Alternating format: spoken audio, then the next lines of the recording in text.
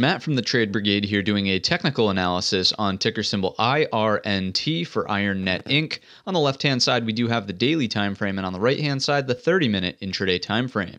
First things first, let's point out the elephant in the room. Big green expansion of range bar from today's session, all punctuated by really solid volume down below as well. And this is largely due to the fact that they released that they're joining Microsoft's, I believe it, what is it, the Association for Intelligent Security, okay? And that's something that you need to be nominated for. That's not some trivial membership that any company can just go out and join. So that does carry some weight. The other piece of this puzzle is, of course, that the social media people, of course, you know, I guess I'm kind of wrapped up in that title as well, but um, they took the chance to say that maybe this is going to turn into a short squeeze and, you know, we'll see a massive run to the upside. And is that essentially what happened here? I don't know. No one can know for sure how much the catalyst versus how much the short squeeze, quote unquote, uh, impacted today's move. However, what we can do is watch for critical markers as we move forward here. So so inside of IronNet, notice that we did fill the gap and the party stopped today right at the blue line there, the daily 50 SMA. So for me, if this is going to continue to see a momentum style squeeze, quote unquote, right, then what we need to watch for is quite simply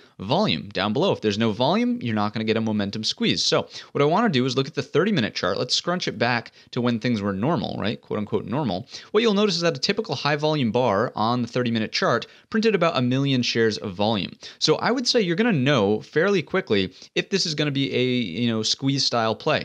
If volume bars start printing and they're 5 million, then the next one's 8 million, then the next one's 10, and then the next one's like 15 and it keeps exponentially ramping like what we see here, then yeah, absolutely. It's likely going to be a momentum style play. So watch out for this to kind of be your first key marker. Are the volume bars that are printing up and over 1 million? And if so, are they starting to ramp higher? In which case you likely have again that momentum style move. If we can take out 16, 18, the daily 50 50 SMA as well. Overhead targets are going to be at 1841. Notice that that was prior resistance in here. And then that's really where the door opens up for that next bigger range into 2311. That was prior highs and then support before ultimately breaking down. So that to me really should carry some weight in your analysis as a potential overhead resistance. That would also mean that we get a daily bar that would be kind of on par with what we've seen, not to rhyme too much there, but uh, it would be on par with what we saw from today's session. Okay. So keep all of that in mind. Can it happen? Yes, absolutely. It could happen. The market can do whatever it wants. But is it likely?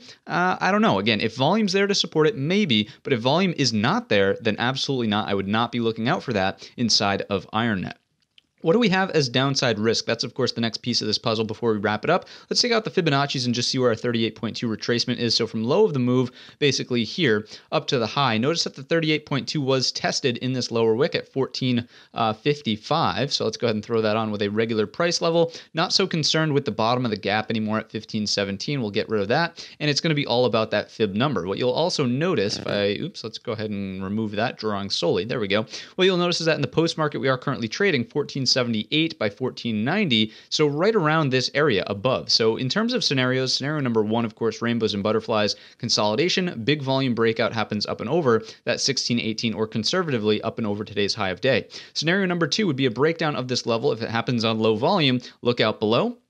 If it does not happen on low volume, if this is a high volume breakdown, then exponentially faster, you know, or I guess uh, what I'm trying to say is we can reverse the amount of progress we made exponentially as fast. Okay, so be on the lookout for a move back down into this floor, which is around $11.58. If I scrunch up the uh, 30 minute chart, you can just see how much of a shelf of resistance that was. So that's why we're looking at that number to kind of act as the critical downside floor, $11.58. That's going to wrap up the uh, video. Hopefully, these numbers and, um, you know, thinking about volume was useful for you. If it was, let me know in the comments section or by giving the video a thumbs up. Don't forget our main channel is linked in the description. And all of that being said, I wish you a green trading week.